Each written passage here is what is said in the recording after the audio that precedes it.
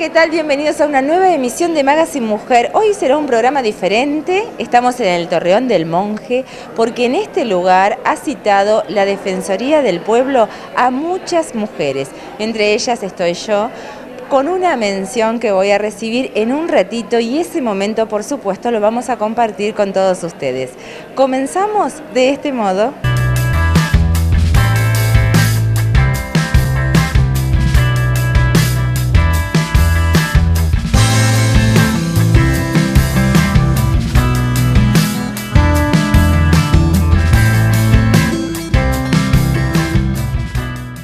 En nuestro bloque de salud, como siempre, nos acompaña el doctor Raúl de la Torre, por supuesto con todos los consejos que nosotras necesitamos.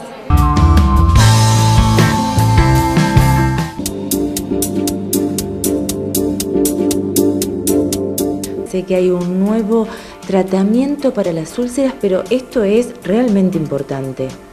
Bueno, eh, como siempre decimos, Cristina, la úlcera no es una enfermedad en sí. Entonces, tratando de buscar alternativas para resolver este grave problema que portan muchos pacientes, empezamos a sumar ideas y a jugar en equipo, que es lo importante. Entonces, estamos terminando de generar un equipo multicéntrico de trabajo, donde hay una nómina muy importante de profesionales para atacar esta complicación de enfermedad que es la úlcera, pero a un alto nivel científico y de manera multicéntrica. Para que la gente lo entienda, la úlcera, como siempre decimos, no es una enfermedad en sí, es el resultado de una enfermedad. Y muchos pacientes peregrinan con sus úlceras sin obtener respuesta ni obtener tratamiento. Entonces, ¿cómo va a trabajar este equipo? Uno, llega el paciente se tipifica la úlcera y vamos a saber cuál es el origen. Si el origen de la úlcera es patología arterial, es patología venosa, es patología linfática, es patología mixta. Una vez rotulada la úlcera con un diagnóstico de certeza de un 100%, empieza a trabajar el otro grupo de profesionales en el tratamiento, donde está incluida desde la mejor gama de apósitos que hay en el mercado, que es toda la línea Combatec, hasta todo lo que es una nueva técnica, que es medicina regenerativa, en la cual se van a usar desde células madre, plasma rico en plaquetas, eh, una serie de cosas que hoy sumamos en este equipo, repito, para darle una solución integral al paciente portador de una úlcera. Un equipo multicéntrico que se va a dedicar al tratamiento integral de la úlcera. ¿Qué pasa habitualmente hoy con una úlcera? Llega el paciente, úlcera. Entonces tratamos la úlcera como una enfermedad. Y ahí donde están los fracasos. Y gran cantidad de los pacientes que hoy nos pueden estar viendo a través de tu programa podrán comprobar que esto es tan real que la úlcera cierra y dentro de un mes, dos meses se vuelve a abrir. Cierra, se vuelve a abrir. Y para que quede en claro esto, de que la úlcera no es una enfermedad, sino que es una complicación, volvemos a un viejo ejemplo para que se entienda. Tenemos humedad en la pared, Cristina. Quitamos el reboque, quitamos la pintura. Ponemos reboque y ponemos pintura. Pero si no arreglamos el problema de base que está dentro, que son las cañerías que pueden estar enfermas, jamás vamos a cerrar la úlcera y volveremos a tener humedad en los próximos 15 días. Es el ejemplo más claro que puede dar y que todos seguramente vamos a entender. Doctor, ¿qué le parece si en una próxima nota me habla de esto de células madres eh, y cómo regenera la piel de la úlcera, la piel lastimada de una pierna? No, yo el compromiso eh, que prefiero tomar es el siguiente. este es un tema que va a dar para, para hablar mucho.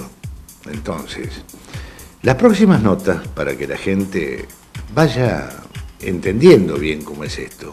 Hoy tienen un pantallazo global y tener la perspectiva y la expectativa de que el Mar del Plata va a existir un centro donde las úlceras se van a tratar en serio. Doctor de la Torre, bueno, nuevamente le digo, es una alegría verlo tan bien, tan recuperado y será hasta la próxima.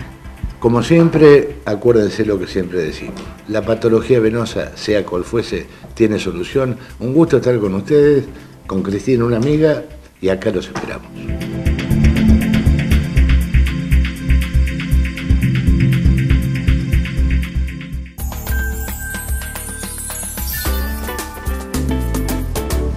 Llegó el momento de hacer el primer corte en Magazine Mujer, pero antes quiero agradecerle a Norma Belfiore por cuidar mi cabello, a Deco Uñas, que se ocupa de mis manos, Lorena, gracias a vos y todo tu staff. Estoy vestida por Brish impecable este conjunto para hoy, estar aquí en el Torreón del Monje junto a la Defensoría del Pueblo. Y les muestro lo último de Festina, un reloj divino que viene acompañado con esa pulsera en dorado, precioso es el regalo de mi hijo y mi nuera, así que estoy feliz y se lo muestro a todos ustedes. Ahora sí, breve pausa y continuamos junto a la Defensoría del Pueblo celebrando el Día Internacional de la Mujer.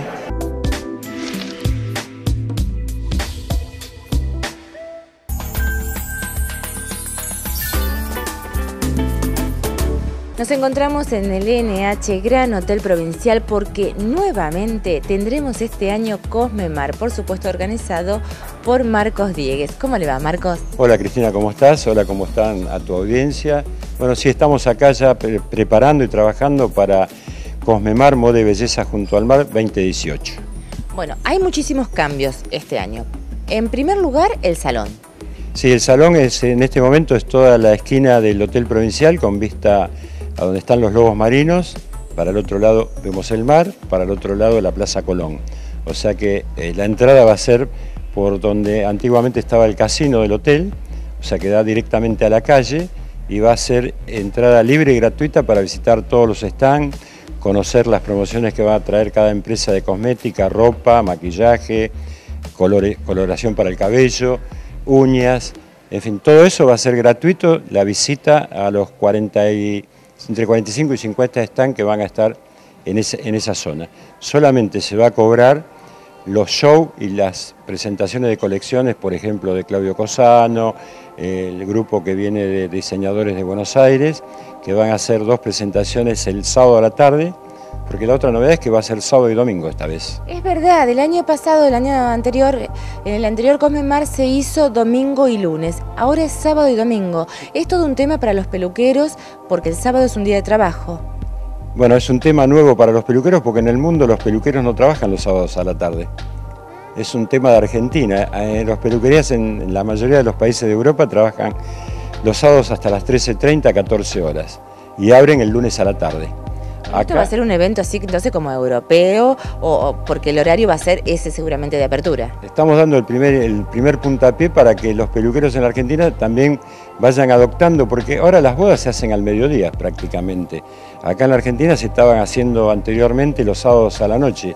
Ahora se está acostumbrando que se hacen al mediodía. En Europa la mayoría de las bodas, de las bodas es al mediodía.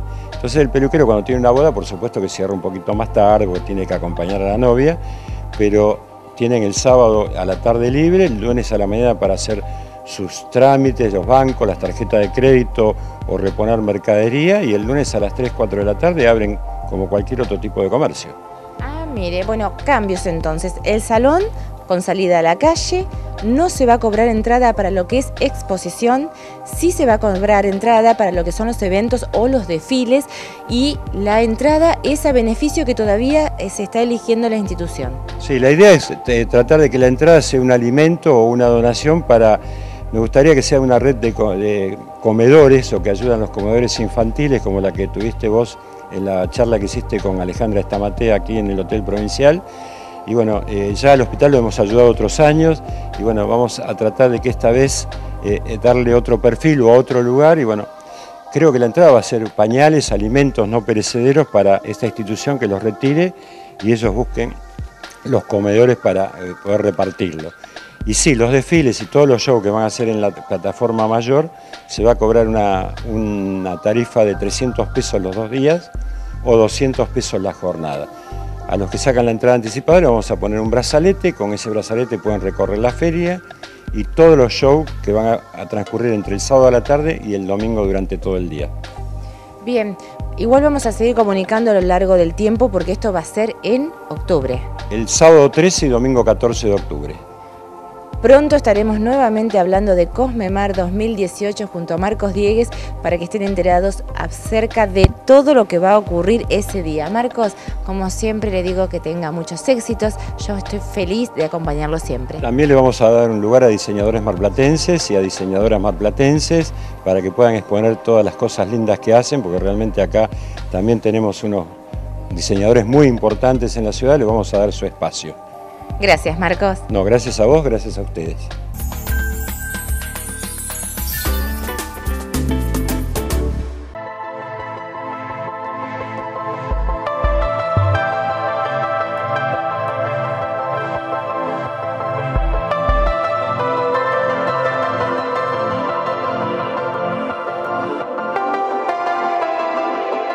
Hola, ¿qué tal? Soy Fernando Risi, uno de los defensores del pueblo. Estamos acá en el Torreón del Monje, en un día eh, de acto en reconocimiento a mujeres distinguidas de la ciudad de Mar del Plata, eh, en adhesión al Día Internacional de la Mujer, así que bueno, 25 mujeres premiadas, este, reconocidas por su labor, su trayectoria y sobre todo por su compromiso con la comunidad. Así que bueno, estamos este, realmente muy contentos. Quedan muchas por distinguir todavía, hay muchas que ya hemos distinguido, pero entendemos que este, de a poco vamos poniendo en visibilidad de la comunidad aquellas mujeres que se destacan por eh, cómo desarrollan su actividad, por su vida, eh, por eh, lo que hacen por, por la ciudad y por la sociedad. Así que bueno, les agradecemos mucho que estén aquí.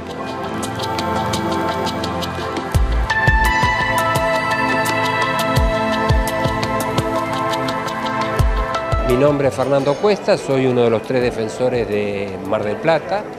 Estamos hoy aquí en el Torreón del Monje, como en otras circunstancias también, en un evento que es muy grato y que es distinguir a distintas figuras, a distintas mujeres este, que tienen que ver con nuestro festejo, con nuestro reconocimiento a la lucha de las mujeres en el Día Internacional de la Mujer. Para nosotros es muy grato y fundamentalmente es un pequeño reconocimiento a un número importante de mujeres este, que nosotros nos interesa distinguir. Hola, buenas tardes. Mi nombre es Estela Carrizo. Em, pertenezco a la red de personas viviendo con VIH-Sida. Hoy estoy acá recibiendo un premio por nuestro trabajo en la ciudad de Mar del Plata. Nosotros trabajamos por la prevención del VIH-Sida para que no se transmitan más otras mujeres el virus del VIH.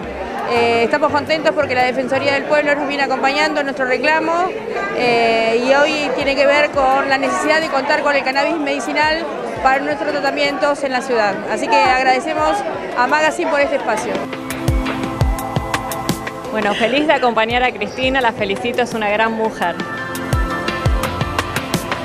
Hola, buenas tardes. Estoy acompañando a Cristina en este evento maravilloso de la mujer. Gracias por convocarme para, para poder acompañarte. La verdad que fue una tarde maravillosa, aprendí a conocer muchas mujeres muy valiosas y llegué acá acompañando a otra mujer muy valiosa, a mi amiga Cristina Acevedo. Estamos aquí en el Torreón del Monje porque la Defensoría del Pueblo ha honrado con menciones a muchas mujeres. Hoy me toca también a mí, así que estoy feliz y a la Defensoría muchísimas gracias. Realmente feliz, honrada, agradecida. Y esta es mi mención. Gracias a todos ustedes también porque sé que ustedes hacen la permanencia de estos casi 14 años de Magazine Mujer. Bueno, eh, yo soy Mabel Garcicla de Pacetti, represento a la Asociación de Geriatría y Gerontología y a la Asociación Femenina Marplatense de Básquet. Eh, estoy muy honrada por la distinción que me ha conferido la Defensoría del Pueblo y es este, un mimo al corazón y me siento muy honrada porque hay tantas personas que han sido, tantas mujeres que son eh, ignotas, que nadie sabe de ellas, pero con todo el trabajo que hacen que tendríamos que empezar a darle toda la difusión que se merece. Vuelvo a agradecer y a todas las mujeres que sigan trabajando y que cada vez vamos a hacer más, a conocernos más.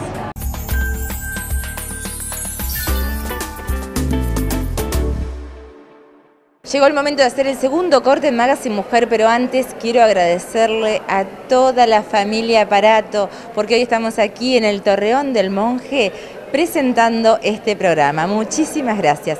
Breve pausa, ya volvemos.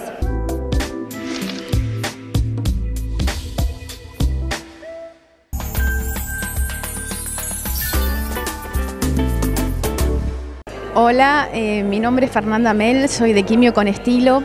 Bueno, yo en febrero del año pasado eh, me encontré un bulto en una mama, me enteré que tenía cáncer y bueno, lo peor de todo no fue el tema de la enfermedad en sí, sino el enterarme que tenía que comenzar con una quimio.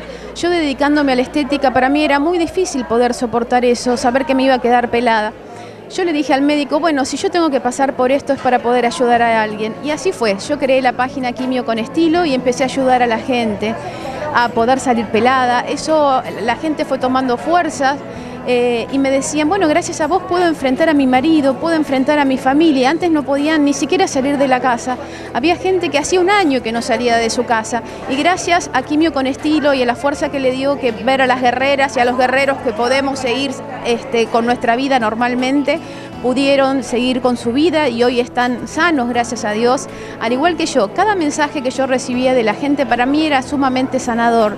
Así que yo los invito a todos, a, todos los que estén pasando por una situación así, a que se acerquen a Quimio con Estilo. Estamos en Salta, 1660. El primer jueves de cada mes lo que hacemos es un corte de pelo gratis cuando tienen que pasar por las quimios para que no sea tan traumático y además les enseñamos automaquillaje. Así que los esperamos a todos los que necesiten ayuda. Ahí estaremos para ayudarlos. Gracias. Soy Marisa Sánchez, la secretaria de la Liga de Amas de Casa, Consumidores y Usuarios de Mar del Plata y quiero agradecer a la Defensoría del Pueblo este homenaje, esta distinción tan linda que ha hecho a mujeres destacadas de esta ciudad.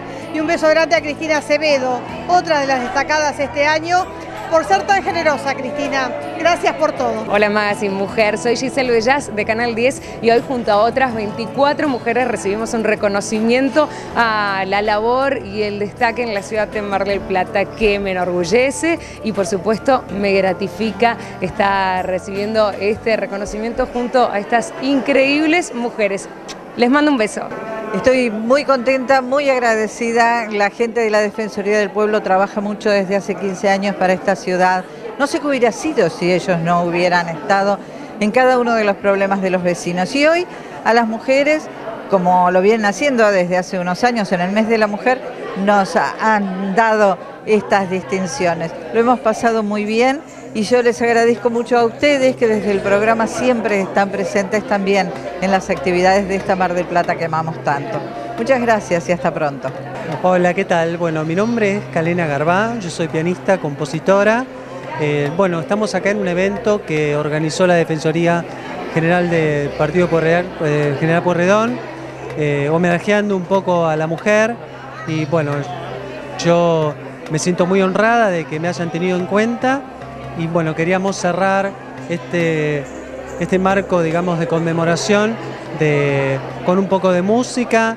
Y bueno, me pareció que es sumamente interesante poder traer esta música para acá, es una música muy amena, es del género de tipo como las músicas de película, se llama clásico ligero y bueno, nada, muy honrada, gracias Magazine por eh, permitirme difundir esto que es tan importante para todos.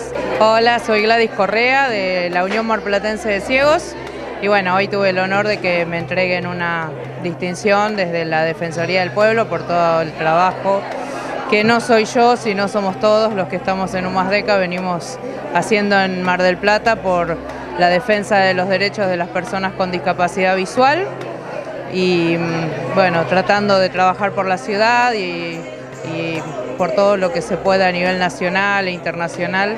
Eh, lo institucional es como mi pasión, entonces siempre que hay una posibilidad de accionar, allí estoy.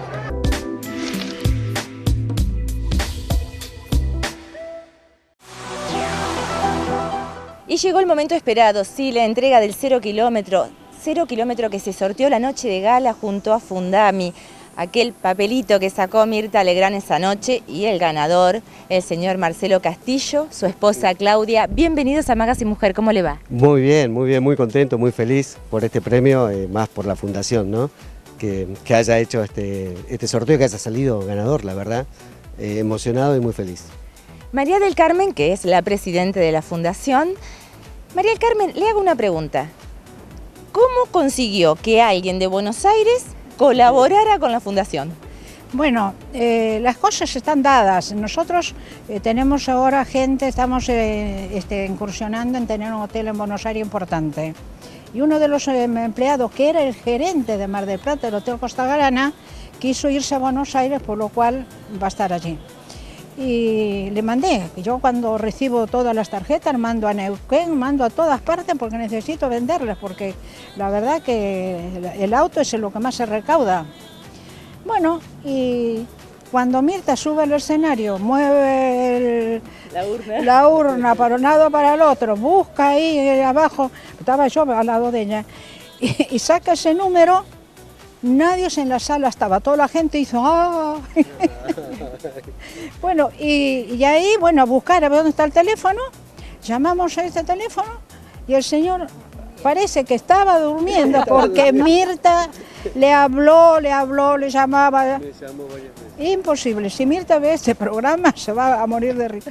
Y bueno, el señor dormía, bueno, al final, después cuando al, día siguiente que las chicas fueron a trabajar, lo llamaron y bueno, acá está el señor y la señora, los este, beneficiados con el auto. Aclaremos que todo esto ocurría a las 4 de la mañana, por eso él no atendió, si no Marcelo hubiera estado atento a su celular, pero eso también porque no tenía mucha confianza que se lo iba a ganar. No, eh, primeramente eh, colaborar con la fundación y antes de que, me vendieran la rifa, este, a mí Federico me, me, explicó la obra de la fundación y cuando me explica la obra de la fundación yo digo, ¿cómo no voy a colaborar con la fundación? Obviamente que sí, entonces compré a título personal uno para mí y otro para mi señora y bueno, los dos números que compramos fue uno de ellos el ganador, así que la verdad que haya tenido esa consecuencia, esa obra de bien que, están haciendo aquí, a, mí me llena el alma.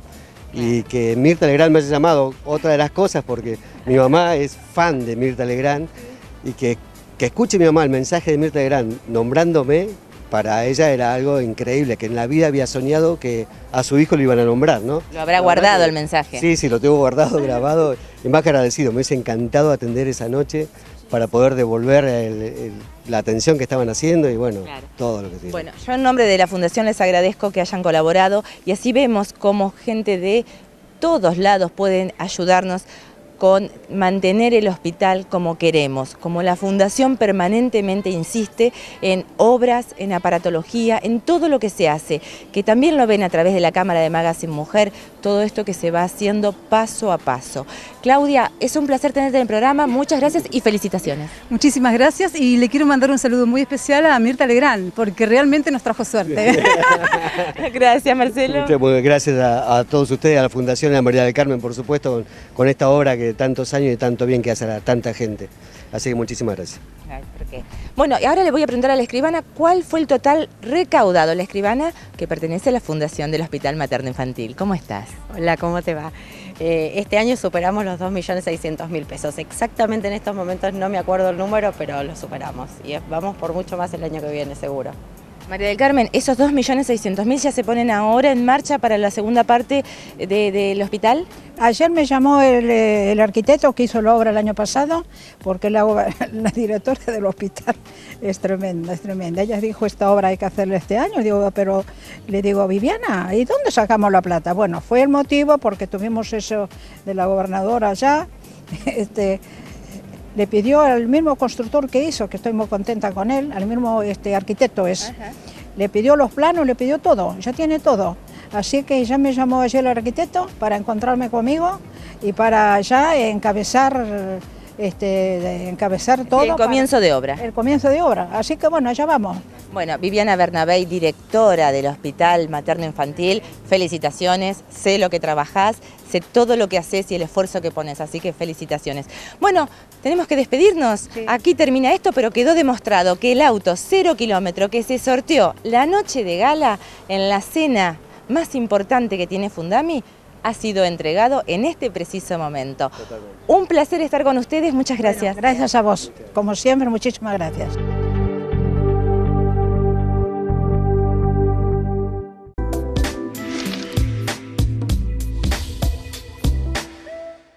Llegamos al final de este programa, qué placer poder compartirlo con todos ustedes. Recuerden que el domingo que viene a las 21 por Canal 2 de Mar del Plata volvemos a encontrarnos en una nueva emisión. Que tengan una excelente semana.